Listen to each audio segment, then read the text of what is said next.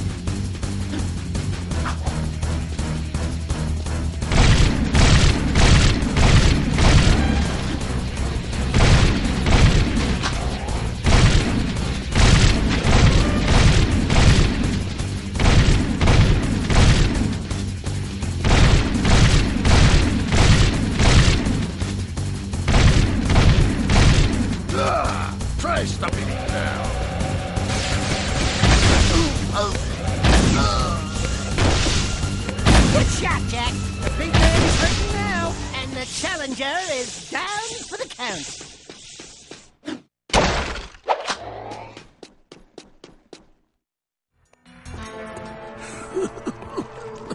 Is it too late to give my notice? Yeah, we quit. The city is already dead. I've sold you all out. Uh, Jak, I think maybe we should be anywhere else just about now. Ashley? We're out of here.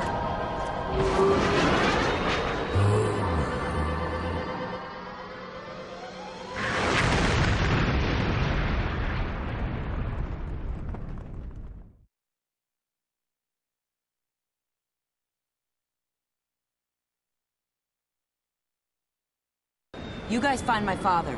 I'll take the heart of Marta Kira for you. I'm sorry it's come to this. Thank you.